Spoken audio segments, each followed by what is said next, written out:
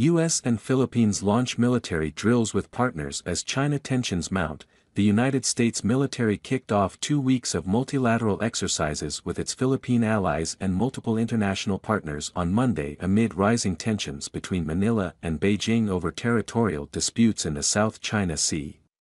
Maritime Training Activity Sama Sama 2023 is the seventh and largest iteration of the drills as participants from Australia, Canada, France, Japan, the United Kingdom and Malaysia joined the U.S. and the Philippines, according to a U.S. Navy press release.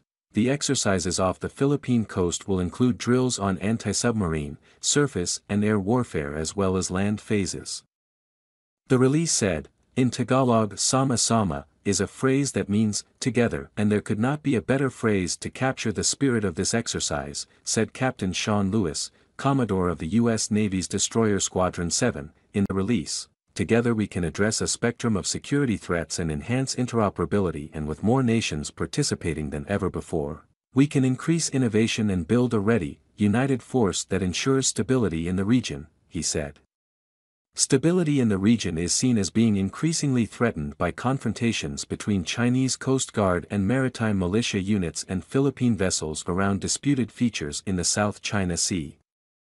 From territorial defense to countering transnational crimes, Sama-Sama helps us to face an array of threats together, the chief of the Philippine Navy, Vice Admiral Toribio Adaci Jr., said at opening ceremonies in Manila on Monday, according to the state-run Philippine news agency, PNA, in an exclusive interview with CNN last week. Philippine Defense Secretary Gilberto Teodoro Jr. equated Chinese behavior in the region to that of a schoolyard bully, recent incidents that have the region. On edge include Chinese water cannons blocking the resupply of a shipwrecked Philippine militia.